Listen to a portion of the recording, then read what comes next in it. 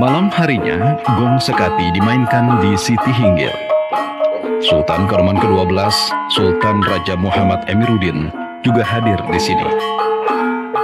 Lagu-lagu atau gending yang dimainkan syarat filosofi hidup yang menggambarkan kekuasaan sang pencipta alam semesta. Lucunya, para penonton yang hadir menyaksikan melempar uang logam ke arah gong. Lagi-lagi berkah yang diharap.